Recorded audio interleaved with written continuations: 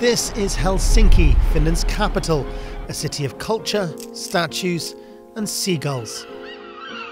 But beneath the surface, Finland has one of the most comprehensive disaster response systems of any country in the world and is sharing its expertise with international partners, including NATO. It is a country prepared for any crisis. We are prepared for natural disasters, floods, uh, forest fires, and man made disasters, terrorist attacks, uh, even the worst case scenario of war.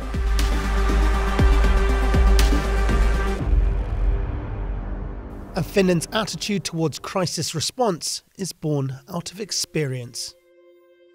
Warplanes darkening the sky of Finland. We lost 90,000 people during the Second World War. That was a huge loss in this small country, so that everybody understands why it is important to be prepared in every possible uh, crisis. After Helsinki was bombed repeatedly during the Second World War, the authorities in Finland put measures in place to make sure that if it happened again, the nation would be ready.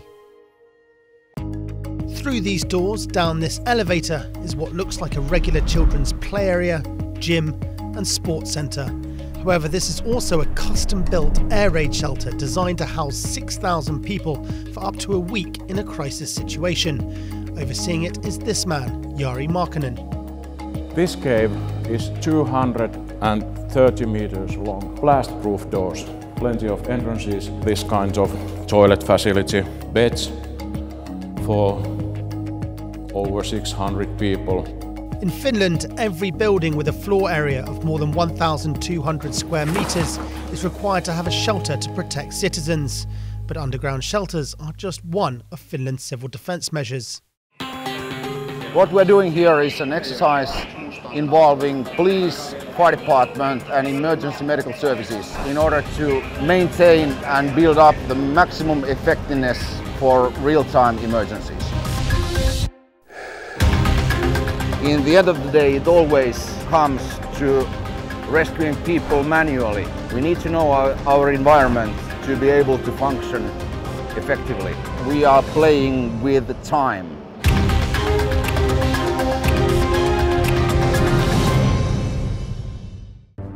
Finland's comprehensive approach to civil security also involves training key decision makers and business owners in what to do if a crisis situation occurs. These resilience measures are a priority for Finland, a NATO partner, and NATO allies alike, they have long worked together to prepare for crises and disasters.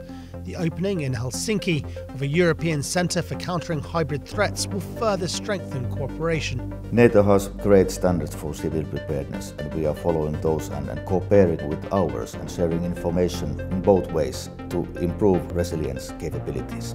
While underground shelters and crisis response measures are a last resort, in times of increasing uncertainty, where cities across Europe are on heightened alert, if a crisis does strike, Finland will be ready.